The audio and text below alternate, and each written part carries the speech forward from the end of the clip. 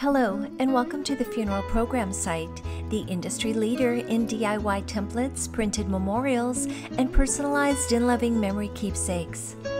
Today we're going to take a look at what to include inside a bifold funeral program. This layout is created on one sheet of letter, legal, or tabloid size paper and folded directly in half for a lovely printed memorial.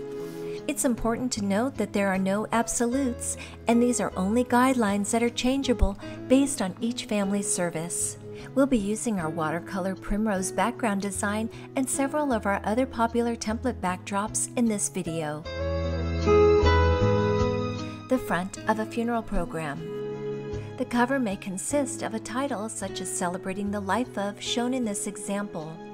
You are able to remove or change the title if desired and create your own text box by entering your custom text.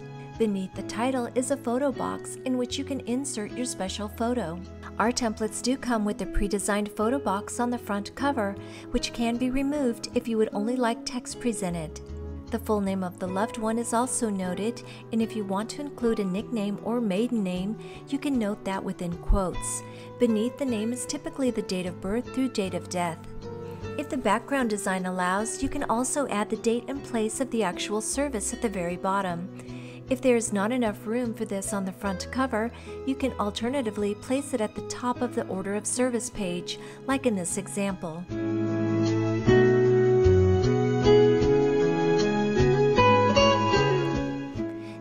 Inside left page of a funeral program. Typically, on the inside left of a bifold program, you will have a life biography or obituary. If you do not have one, you can place a special poem, a scripture, or additional photos here in its place.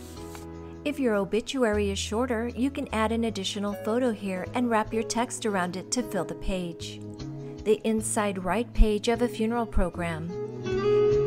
You may add the order of service or the order in which the funeral service will be conducted. You can add the flow on the left side and note who will be performing the task to the right. If you do not have or know the order of service, you may add additional photos on this page or a special poem if desired. The back cover page of a funeral program. A special poem of remembrance may be added at the top if there is room. A general thank you or acknowledgement from the family may be noted along with the final resting place location and the funeral home who will be entrusted with the final arrangements. If it is a ground burial, pallbearer names may be added at the top along with any honorary pallbearers or flower bearers. The funeral program site is here to assist you as much or as little as you need our help. If you choose to use our DIY funeral program templates to create your next program, we include the filler text within all of our templates to help guide you along. We also provide services where we can customize the program for you. You can then take it locally to get printed or use our all-inclusive design and print services. You always have options here at the Funeral Program site. Thanks for watching and please subscribe to our channel for helpful upcoming videos. If you found this video helpful, please let us know by hitting the like button. Our customer service representatives are here to assist you with any questions that you may have.